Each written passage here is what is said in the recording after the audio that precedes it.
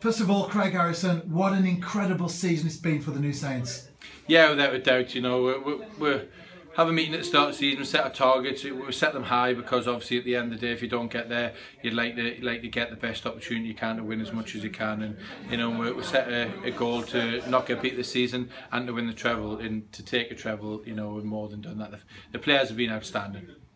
I chatted to you on the pitch immediately after the final whistle. Mm. I was getting carried away. I said it was an incredible performance. You pulled me yeah, in and yeah. said maybe it wasn't so incredible. Yeah, I think you know for being realistic and honest. I thought Ed was done really well for half an hour, 45 minutes in the you know the contained where and, and we didn't play our normal game. Whether that's credit to them, which I'd like to give, you know, or, or whether we weren't good enough. But either way, I thought second half we were a lot better. Second half we play our game and we could have scored three or four goals on the counter attack. Certainly should have had a penalty.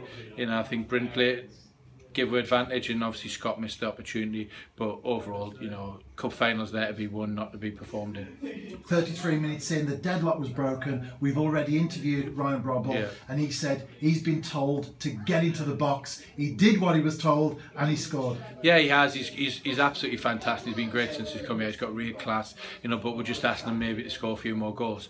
You know his, his assist rate's very good. He sees a pass he can deliver a pass but we just want more goals from him. And obviously what a time to come with a goal. You know, it was very tight at the time, and I think it probably just put Airbus back on their on their back on their heels and give us the momentum going into the second half.